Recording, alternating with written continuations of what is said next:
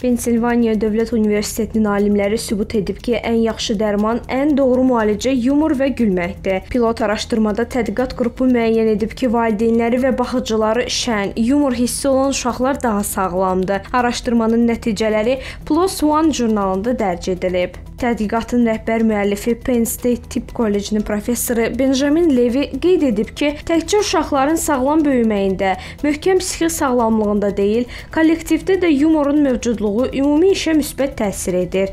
Yumor sadəcə stressi aradan qaldırmır, həm də immunitetin formalaşmasına dəstək olur deyə mütəxəssislər açıqlayır.